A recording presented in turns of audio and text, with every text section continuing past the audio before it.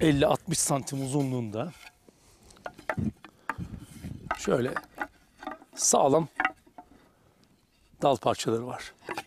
Bunları bir yere koyalım. İkisi orada. İkisi de burada olsun.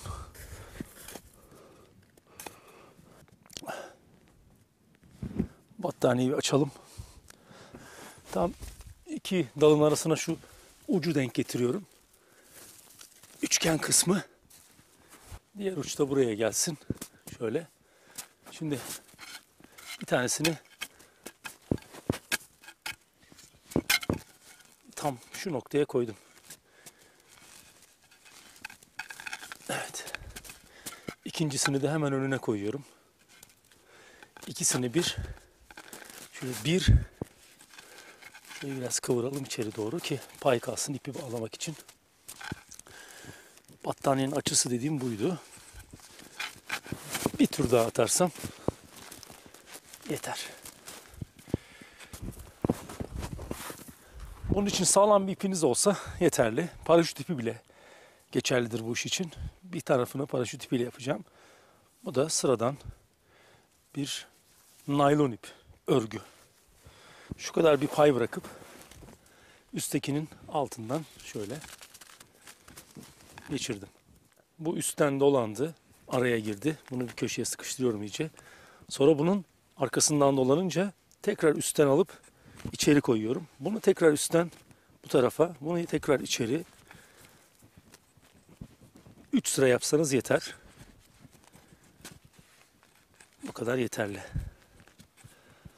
Bakın buraya da aradan sokup yine arkaya geçirdim. Bu ağacın arkasına dolanacak olan parça.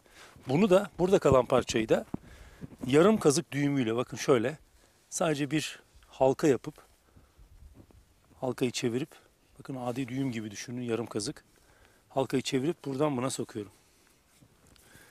Bu bile tutar bunu. Ama üstüne ikincisini yaparsak şöyle tam kazık düğüm olur ve bu düğüm buradan kurtulmaz. Şimdi bunu şimdi bunu buradan yüksekliğini ayarlayarak ağacın etrafına şöyle geçirdim. Boy ayarlıyorum karşıdakine göre uygun olacak. Tam ortaya gelecek. Şimdi bunu yine buradan aradan geçirip bunun üstünden, arkasından, altından, yukarıdan 8 harfi çizerek dolandırıyorum. Bunları da bu tarafa iyice sıkıştıralım. Burada da bakın tek elinizde yine çok basit bir düğüm. Sadece çıkan ip parçasını tutup çevirirseniz şöyle bir tur bunu buraya koyabilirsiniz. Sonra tekrar bunu buraya asılırsınız. Bu bunu tutacaktır ama ben emniyet olsun diye bir tane daha aynısını yapıyorum. Üstüne koyuyorum ve onu sıkıştırıyor. Tamam. Bu tamam. Buradaki fazlalığı da dolandırdım. Şuraya ekledim sadece. Önemli değil o kısmı.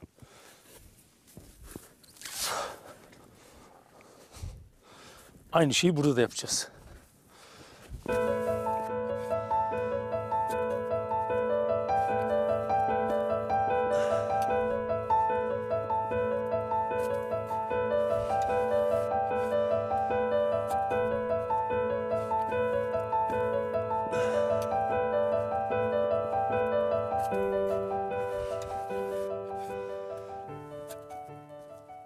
Burası tamam. Şimdi içini bir temizleyelim. Hoş, yün. Zaten ıslandığı zaman, nemlendiği zaman da bulunduğu ortamın nemini alırken de sıcaklık ürettiği için sorun yok. Çantayı da asalım güzel bir yere. Deneyelim.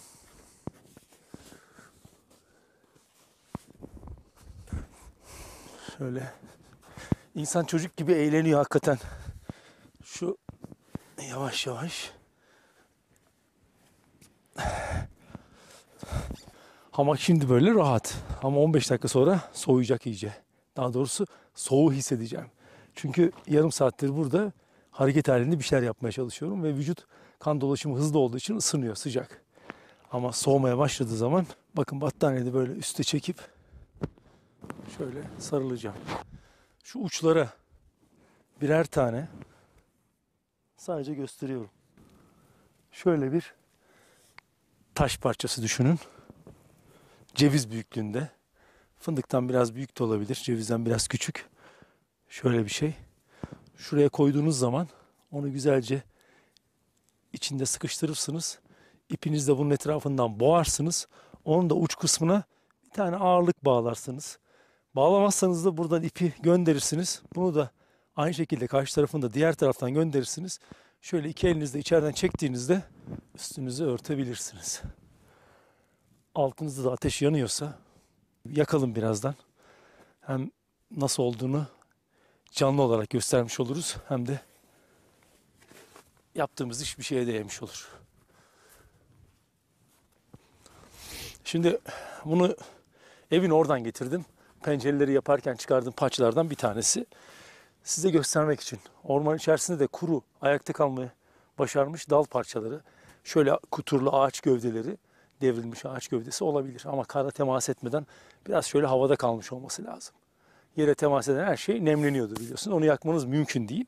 Ama bu çok kolay yanacaktır. Şimdi bunu şuradan şöyle ikiye yaracağım. Uzun bir parça olacak. Daha uzun bulabilirseniz boyunuz kadar başınızdan ayağınıza kadar olan yerde yerden biraz yüksekte yakacağınız ateş uzunlamasına başınızdan ayağınıza kadar sizi ısıtacak. Vücut sıcaklığınızı koruyacaktır.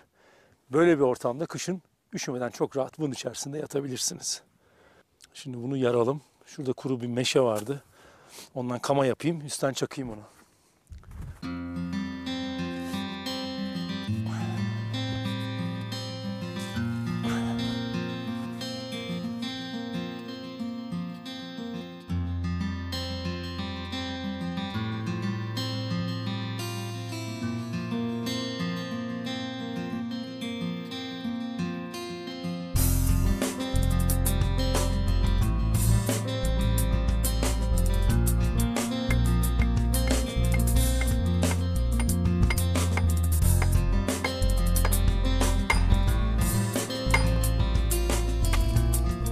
Burada ne yapacağımı tahmin ediyor musunuz?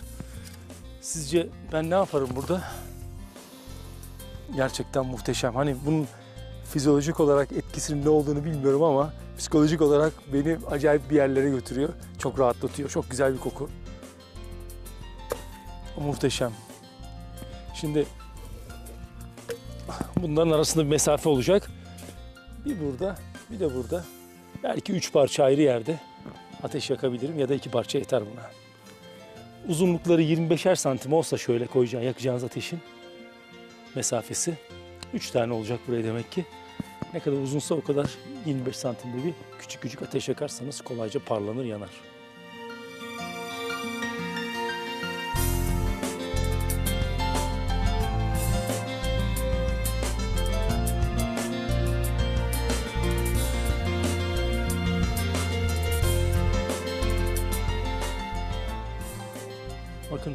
Ne kadar dönerse şu yüzey düz düzken kesmeye başlarsanız o kadar güzel döndürürsünüz. Bir ufak nokta daha var detay. Bıçağın burasından başlayıp ağız kısmına kadar yuvarlamaya çalışıyorum onu. Yani şu açıda düz değil. Bu açıda aşağı doğru çekip ucuna doğru bakın yongayı çıkarıyorum. Bunun için de bıçağınızın sağlam olması lazım. Elinizde iyi hissetmeniz lazım onu. Ben bunu uzun yıllar dağda geçirdiğim, ormanda geçirdiğim deneyimlerin sonucunda üretebildim. Tasarladık. Bakın 4.5 milimetre kalınlığında bununla her türlü balta işini bile görebilirsiniz. Bunu yerde sabit tutarak kalın bir parçaya üzerinden keseceğiniz parçanın üzerine koyup üzerinden vurursanız yine ağaç parçasıyla daha sert bir malzemeyle çok kolay balta gibi kullanıp kesebilirsiniz. Bu yonga çıkarmak için de kesme açısı oldukça uygun. Çeliği de sağlam ve yağ suyu iyi verildiği için şu an şu ana kadar kullandığım, elime aldığım bu işler için en uygun bıçak diyebilirim size hakikaten. Çok seviyorum bıçakla iş yapmayı.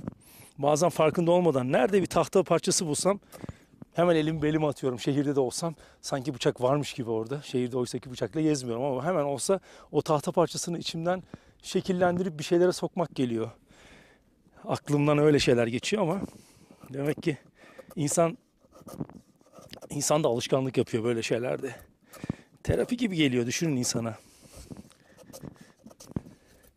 İnsanın dağa çıkması için, ormana gitmesi için illaki derdinin olmasına gerek yok değil mi? İçinin beslendiği bir şey var orada. Ben de öyle besleniyorum. Çevremde eşim, dostum, arkadaşım genelde bana sorarlar. Hani biraz daha fazla tabiatta zaman geçirmiş birisi olarak, deneyimli birisi olarak eee, merak ettikleri sorular var. Dağa gideceğiz yanımıza ne tür kamp malzemeleri almamız gerekir? Ayakkabıyı nasıl seçeyim? Böyle bir sürü soru. Ya ben e, kendi geçmişime gittiğimde o zamanlar neler yapıyordum diye e, kimseye bir şey sormazdım. E, mesela kış şartlarında bir ormana kampa gittim.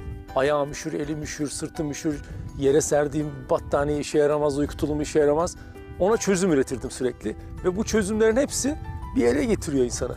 Eksik olan malzemeleri, eksik olan ihtiyaçlarını kendiniz bir şekilde icat ederek orada elinizde bulunduğunuz, bulunduğunuz ortamın içinde var olan şeylerle e, hayatınızı sürdürüyorsunuz orada bir şekilde.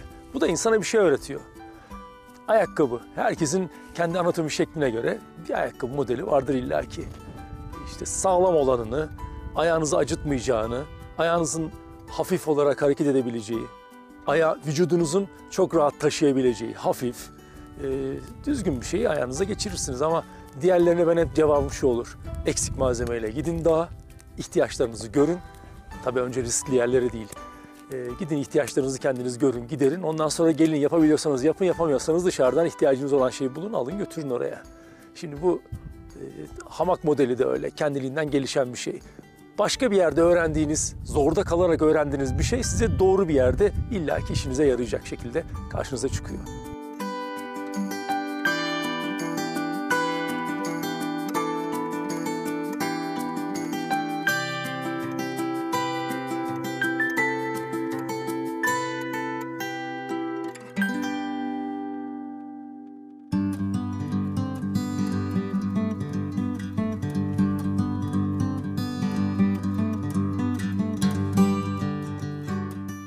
Birkaç haftadır bizimkiler ortada yoktu.